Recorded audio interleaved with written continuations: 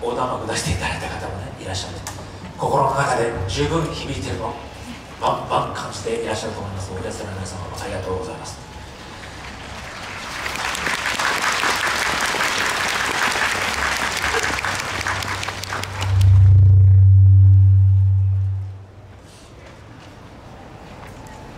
マイクがお見合いをすると今のような音が出てしまいましたお聞き苦しく申し訳ございません。さて続いて、えー、本日のいよいよラストプログラムになりますけれどもフランスのラベルが書きました「ボレロ」でございます、えー、この「ボレロ」という曲はもう皆様方もご存知の方たくさんいらっしゃると思いますけど最初本当に静かというか、えー、ソロ楽器で始まります。こんだけたくさんオーケストラの方いるのに最初本当にフルートでしたかね最初に始まったのあそうそうそう。フルートの前管楽器の前に小太鼓が鳴らし始めてタンタカタタンタカタタンタンタンタカタタンタカタタカタタカタねスネアの音あ聞こえてまいりますこういう感じち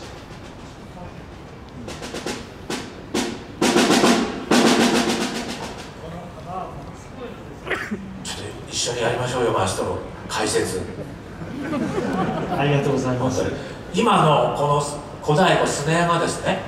今と同じのを169回重ねていくわけでございます。でその上に、まあ、フルートから始まって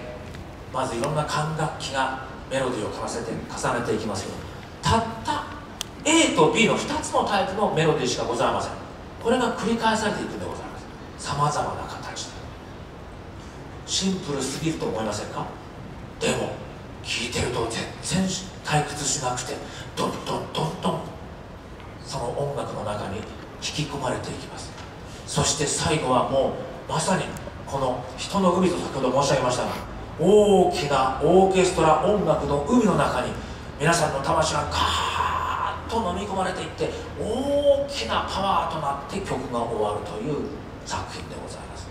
これはやっぱりマエストロ一言で言うと復活の音楽って感じでしょうかね。シャルトレース輪廻転生というか、はあ、外国語で復活輪廻転生はどうですか？輪廻転生転生っていうのはまあどっちかというとぐるぐる回りながらまた生まれ変わっていくということですよね、はい、でそれを一人一人の人が自分の人生を語ってで語り尽くした頃に突然オーケストラから今までの響きと違う響きがそうせられます、うん、でその瞬間が新しい命を売る瞬間なんですね。それが光となって。でその後はもうしばらくあのいわゆる喜びの方向というかなんかそれがあ激しく激しさを増して終わりになられ込んでいきます。なるほど、はい。まあ、今夜はウクライナ応援コンサートでございます。シンプルに始まったものがどんどん変化してそして大きくなってまあ、勝利的な結末を迎えるという意味でも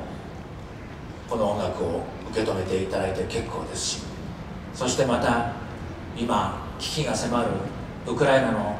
国や人々の心がいつか必ずまた復活していくんだ。それを信じる音楽なんだ。という形でお聴きいただいても結構かと思います。いずれにしてもこのラベルの書きました傑作に音楽というものが人々に国境を越えて国を越えて大きな力を与えてくれるそれを実感する典型的な作品ではないかと思います、えー、本日はこの曲が最後になりますが、えー、冒頭にもご案内いたしました。ウクライナの方々に今難民となって国を、まあ、逃げていかなければならない方々のためにほんの少しでも小馬犬とその仲間たちオーケストラ応援をしたいって形で、えー、募金箱を作っております。でこの募金は大きなその団体にお届けするよりは実はマエストロ来月ハンガリーの方に行かれる、えー、ご承知の通りハンガリーの国際指揮者コンクールで、えー、優勝されてからマエストロ小馬犬の輝かしい音楽人生が広がっていったわけでございますけどもそのマエストロにとっても第二の故郷ハンガリー今もたくさんのウクライナ難民がそこを目指していらっしゃいます。そういった難民の方に直接目に見える形で手渡したい募金を、えー、ささやかですが行っておりますので今日大変たくさんいらっしゃいましていっぺんにあの、えー、募金にあの並べると大変なことになってしまいます。お気持ちだけでも結構でございます。あの募金箱の近いところにいらっしゃる方そういう形で、えー、お寄せいただけましたら、えー、後ほど、えー、渡した後にですねえー、コバケンとその仲間たちオーケストラのホームページでもその結果をお知らせする形に、えー、させていただきますのでご協力いただければ幸いでございます。それではラベルのボレロ。ウクライナ応援コンサートのラストプログラムとしてお届けいたします。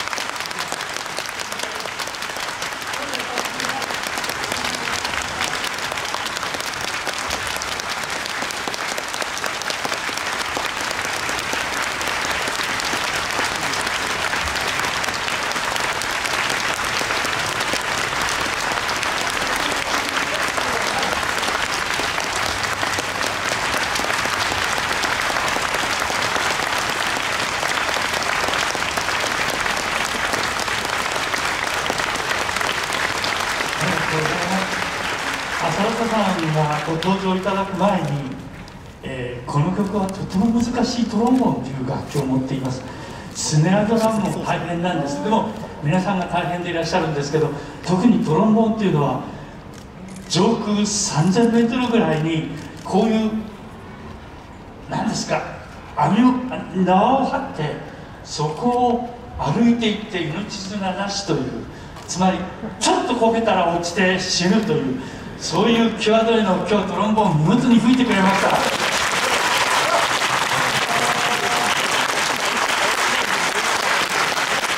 それから三崎さん三崎さんありがとうございます。ちょっと前にお出になってください。今日のスネアドラムです。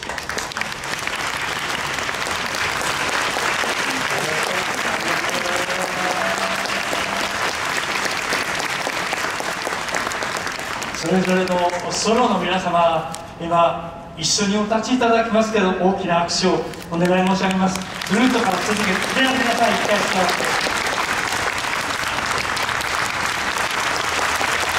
これでフルーツ立ちですそう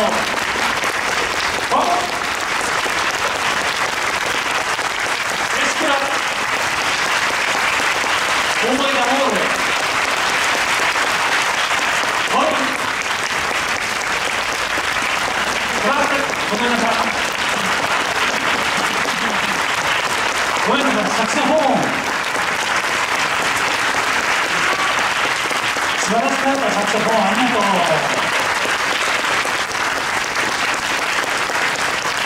今日は本当はサクソフォンのあの素晴らしく浮いた浅岡さんは浅岡さんの息子です。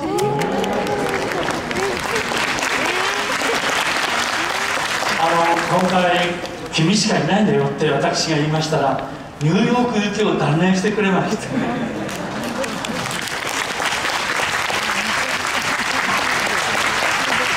えー、申し訳ありません。皆様あの情熱を傾けて弾いてくださったまずバイオリンの両方のバイオリンの方々から立っていきますのであの足音とととでも結構でございます。お疲れになられました。お願いいたします。バイオリンの皆様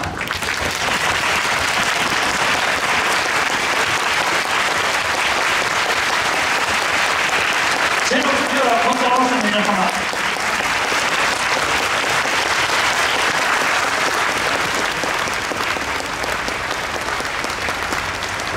木管楽器の皆様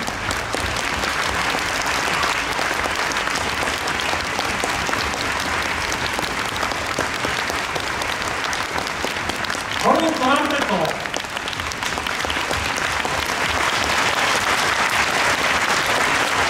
トランポンキューバ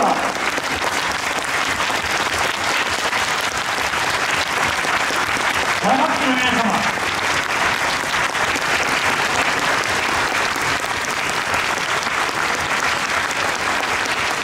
もう一度だけコンサートマスターです。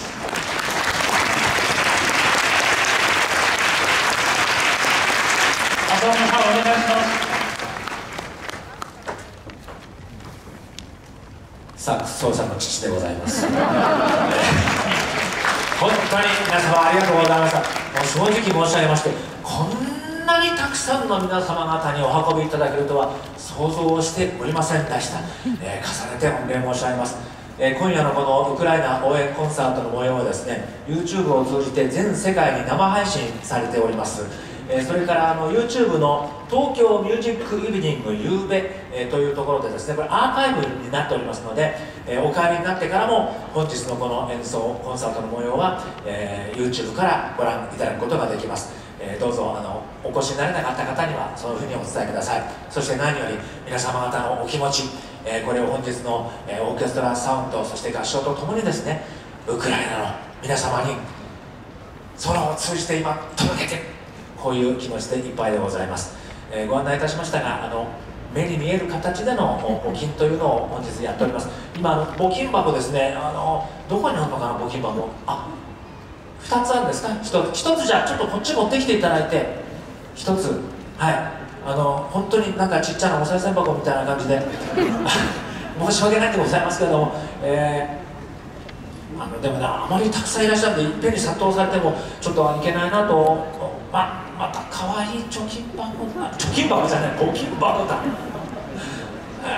なんか可愛すぎですけどなんかいいですか？あのちょっとじゃああの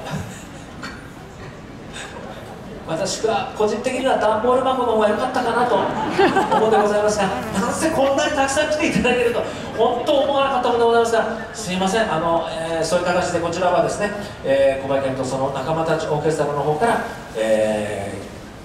ー、ハンガリーあるいは現地に近い方々にお届けしてその様子はあの小林健とその仲間たちオーケストラのホームページで、えー、後ほどご報告をさせていただきます。それからの、まあ、本日オーケストラサウンド初めて生でお聴きになった方もいらっしゃるかもしれません。この中小馬健とその仲間たちオーケストラというのはプロアマ問わず音楽を愛しそして、えー、障害を持つ演奏者もメンバーにいます。健常者も障害者も老いも若きもプロもアマも音楽を愛する者が一つになってオーケストラという表現で社会に貢献できることを目的として生まれましてもう10年が経っております、えー、今年は6月の27日の月曜日627の月曜日にサントリーホールで、えー、小馬県、えー、マエストロの式で、えー、またコンサートを開催する予定でございます、えー、どうぞ、えー、私たち小馬県とその仲間たちオーケストラの活動にも、えー、ご興味をお持ちでしたら6月のサントリーホールにお越しください。それからマエストロは4月2324の土日に隣の東京芸術劇場で読売日本交響楽団さんとベートーベンベレリオーズの名曲を演奏なさいますので、えー、音楽、え、いつまでも皆様の心の宝物としてお運びいただければ幸いでございます、えー、それでは1時間にわたりまして立ってお付き合いいただきまして本当にありがとうございました。引き続き皆様どうぞ音楽そして心でウクライナの方々を応援してまいりましょう。本日は誠にありがとうございました